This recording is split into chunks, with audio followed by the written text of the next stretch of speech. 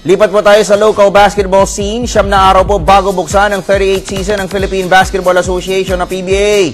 Isa pong trade ang muling naganap sa liga.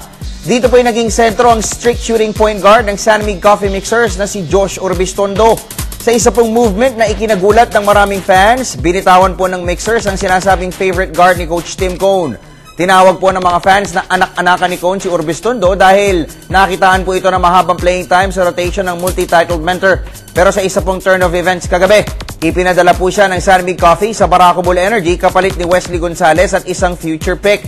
Nauna po rito na-acquire ng Barako Bull si Gonzalez sa Petron-based boosters kapalit ng dalawang future second round picks. Nais ng San Coffee na mag-unload ng point guard sa kanilang roster habang kanilang ina-address ang pangangailangan sa isang defensive wingman. Ito po marahil ang nagtulak sa kupunan para ipuwersa ang acquisition kay Gonzales habang lumalabas na collateral si Urbistondo.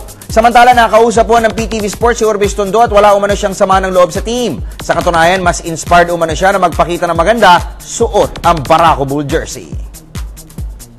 I'm moving forward and and I'm excited to play in the season with Barack Bull and I'm just focusing on that right now. Before Coach Tim told you about the trade last night, I'm pretty sure that you're already, you know, setting your sights on a banner campaign with the uh, with the formidable lineup of the uh, San Mig Coffee. But did it somehow change when you were traded to uh, Barako? Do you wanna be- Um, not actually, no, not, not at all. That's that's as a player, that's what you play for. You play for a championship. Uh, no matter where you are, uh, that's what you're working to and striving for. And Bronco Bull has players that have multiple championships. So, um, Dan, with, with with Danny Siegel, Ronald Tubin, McBenisi, you know, Doug Kramer, and a lot of veter- veterans that have championship experience. So, um, you know.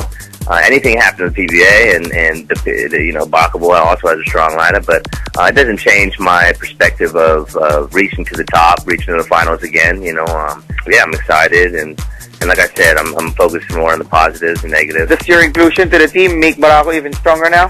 Siyempre, pare! Gandang gabi sa'yo, good luck sa'yo, pare!